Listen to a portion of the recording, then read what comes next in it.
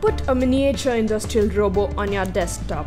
If you are someone fascinated with industrial robotic arms that can precisely install various components at high speeds or handle many complex and even dangerous tasks, then you can now own a miniature robo arm for your desktop. The uArm robos are for everyone. This desktop miniature robotic arm is made up of laser cut acrylic or wood parts to be stable and to react really fast.